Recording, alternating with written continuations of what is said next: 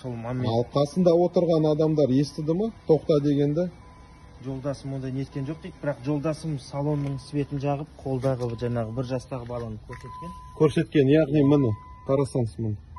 Тоже төбесінің бәрі тесік. Қараңыз. Міне жолдасымның қаны тізесіне тиген оқ. Қаны. Ә, панельдердің бәрін тоже тесілген.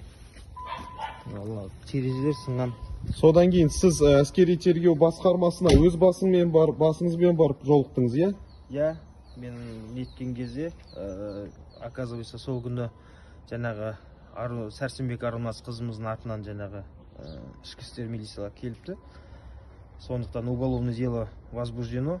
Но будет заниматься всу как пуля ә, от ә, военного оружия деп айтты.